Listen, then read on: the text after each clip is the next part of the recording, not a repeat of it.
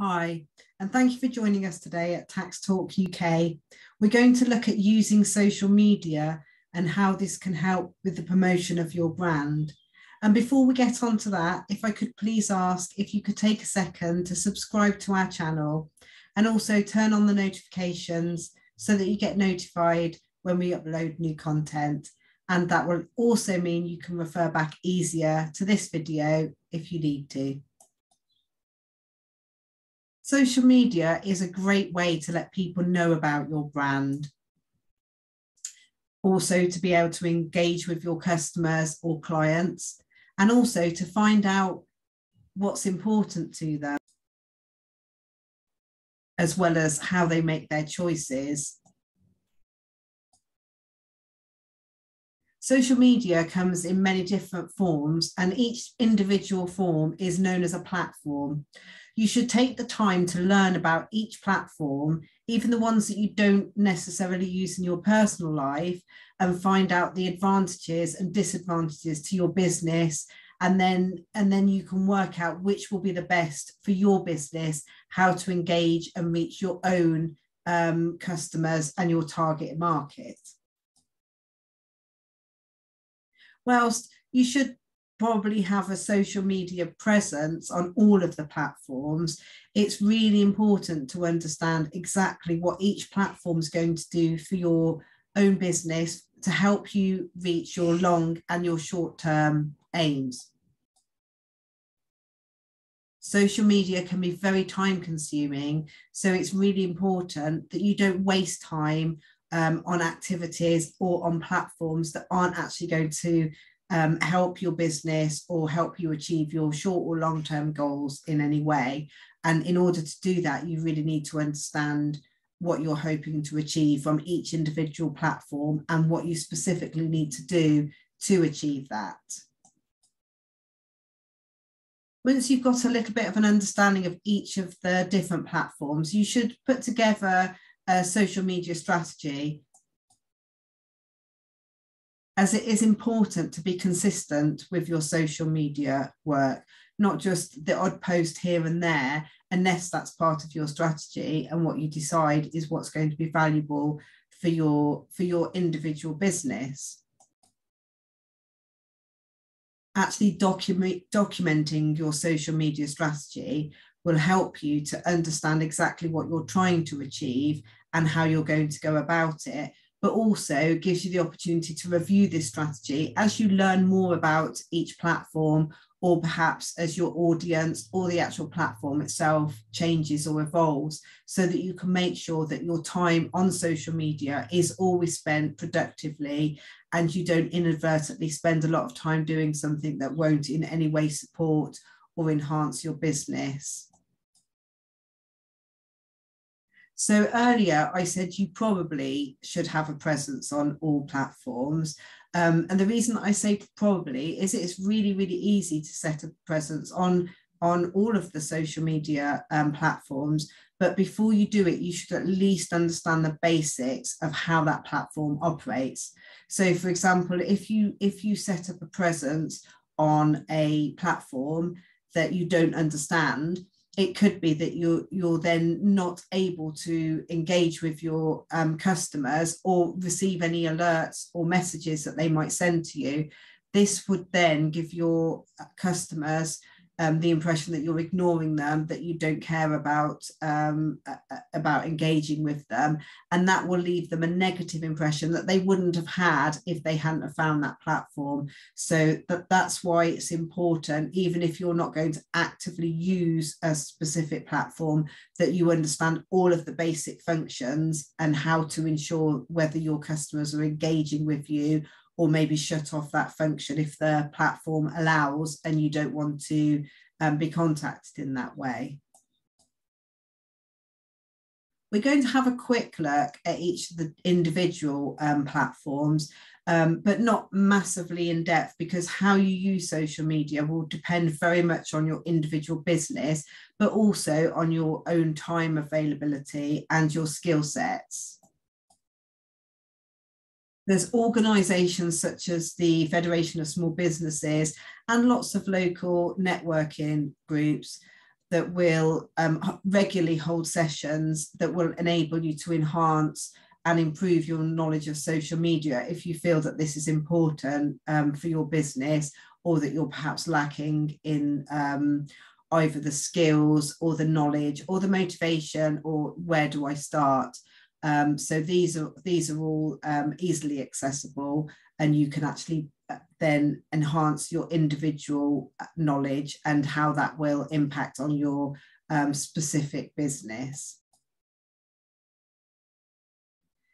If your social media strategy means that um, actually social media is going to be really important um, tool for your for your individual business to to enhance either in the short or the long term. And you lack the time or the skills um, to be able to, to to be able to run these yourself. You will be able to find um, local coaches that can help you or if you want to outsource the, there are lots of um, lots of small um, businesses that will be able to take on um, that function for you. Um, the only thing that I would say is if you don't know the people, just you know ask for recommendations, look at their work, make sure that you are actually going to get value um, from for, from um, what you're engaging them to do. And as with your own social media strategy, if you are outsourcing, again, you need to regularly review um, ask for feedback on stats um, to so that you can ensure that you are truly getting the value and actually it's achieving um, social media is achieving in your business what you are wanting it to do. Much as the same as when we use social media for personal use when we're using it for business use, it's important to not get too hung up on what others are doing. Yes, of course, follow your competitors to keep an eye on um, you know what they're what they're doing how they're using social media. But in such a way that you learn from what works for them what seems to engage people rather than actually copying. Design your own content engage your own customers in your own style and also as as the same as when we use social media for personal use it's important to remember that all is not as it appears on social media. So if you're following one of your competitors, for example, and they're always very positive and everything's going very well for them, um, just remember that they're not necessarily going to put the negative um, you know the negative days on their on their social media because that's not what customers necessarily want to hear about. So if so don't be disheartened if things aren't as positive for you. Try and always give that positive um, outlook and find there's always a, a, positive that can be found um, to talk about in in most situations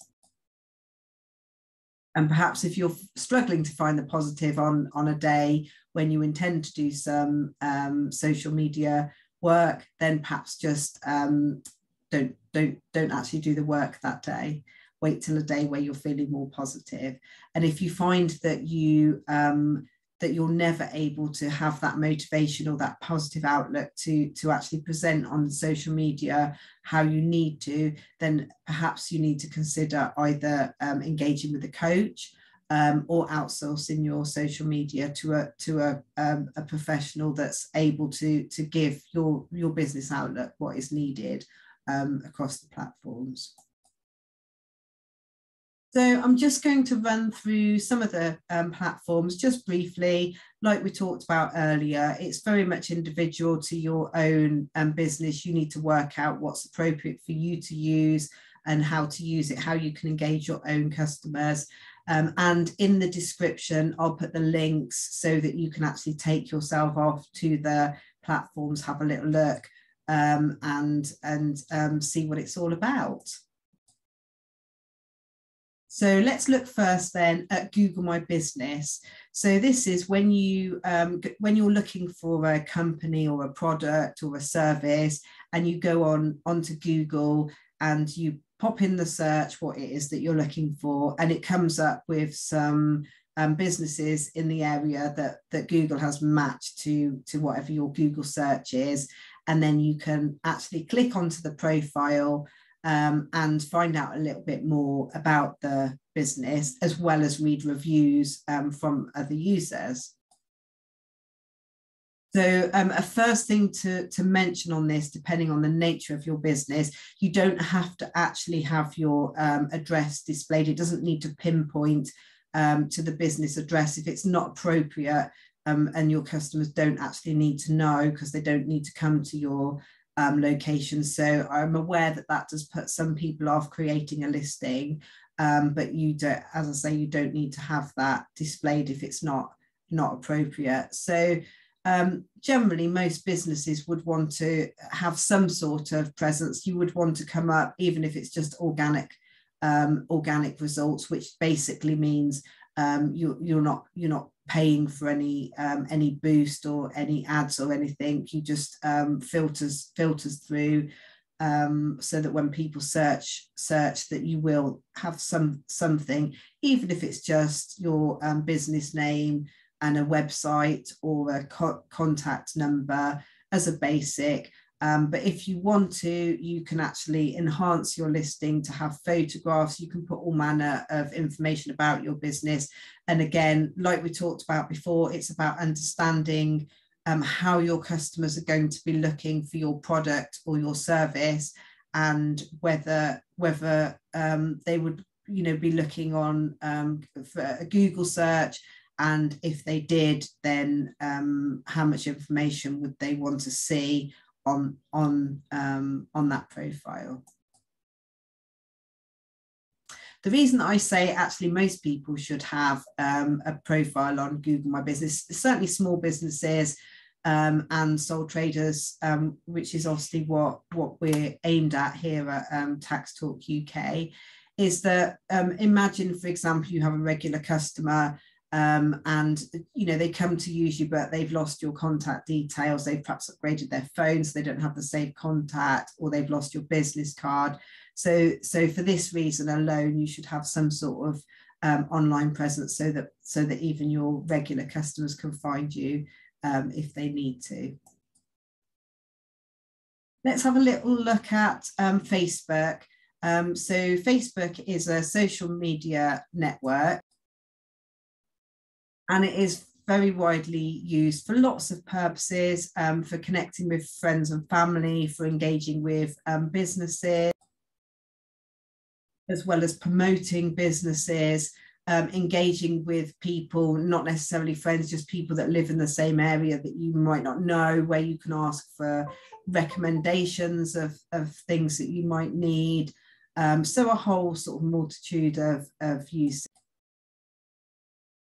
So um, on Facebook, um, those that use it personally will know that you have your personal profile um, and, and also you can separately from there um, create a business page which enables you to separately from your personal profile showcase your business, engage with your customers, um, give news to your customers, and, and basically keep them updated as little or as much as your social media strategy um, determines that is appropriate for that um, platform.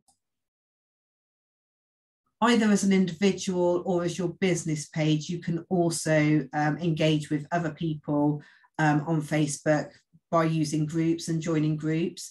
Um, this way you can help develop awareness of your brand, um, look out for people asking for recommendations for your brand, um, or or um, asking for help in areas that that your your brand would be appropriate. Um, one word of caution: if you're doing this, it is important to engage with the other group members.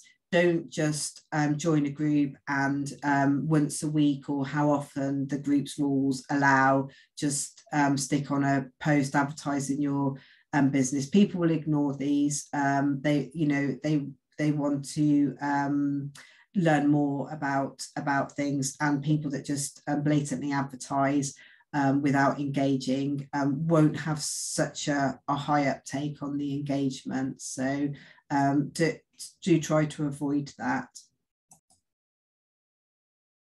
If you're not able to regularly engage with other people on their um, on their posts um, and or provide recommendations and that sort of thing. Perhaps you know look to provide just general information that is is relevant to your brand, your brand, and enhances your brand. um, but that actually helps people. Um, this will help you to engage more with the other group members and will get a better awareness of your brand ultimately. Turning to Twitter then, um, another um, very popular um, social media network. And much as Facebook, it's used for personal and business use. Um, connect, connecting with others is um, is less less personal. Um, you can follow any any Twitter user either as an individual or a brand, um, which enables you to keep up to date um, with what's going on with them. Um, the key difference is with Twitter, you have a limited amount of characters that you can um, post with or tweet um, accordingly. Um, so this means that you have to be really concise if you're tweeting, you want to get the key message in. Um, although you can include links um, to maybe a blog or to your website, um, images, etc. Um, in there. But you know, again, a really good way of um, following what other people are doing and um, getting the word out to your um, to your audience. Turning then to Instagram. Instagram, another um, popular social media um, platform, and this enables you to engage with others almost entirely through pictures, although you can put a description with each picture that you post. Um, you can add links um, in there too. Um, but so again, a very different um, way of engaging, um, but depending on what your brand is, um, an important platform to at least consider and understand how it how it works. Thinking about YouTube then, so YouTube is a social media platform that enables you to engage with your um, with your customers, your clients, um, and and promote your brand um, almost entirely through um, video. So these days, in this fast-paced um, world that we seem to be um, living in, that gets faster and faster all the time, not everyone has the time to read content or to um, to you know to actually find the information themselves. So a video um, can be a great way of of getting the information out to somebody in a way that they can um, that they can take on board um, quickly. Um, pretty much like we've chosen to do here at Tax Talk UK, we obviously we have the content all on our website, but we understand that not everyone is able to um, to you know take on board the information in that way there is a lot of information and sometimes just um, being able to um, listen to somebody explaining it can be easier. Um, but just remember again as with everything it's not going to work for everyone. Some people will find it easier to um, read the information on a website. And so again, going back to the social me media strategy that we talked about at the start, you should consider how will actually enhance your um, own customer or client's experience? What is actually going to help them? Not what you think um, you would either like to do because it's the easiest um, or because other people uh, are doing it. You should um, try to think um, yourself about what's going to work for your individual business. Finally, then thinking about LinkedIn. Um, so LinkedIn enables you to um, engage with other professionals um, and and as well as you can also showcase your business through business um, pages. Um, but much in the way that Facebook works, you would actually have connections um, individually with with other LinkedIn users that you that you know and be able to see their content and engage with them, leave comments comments um, on, on their um, post, for example, and share your own content.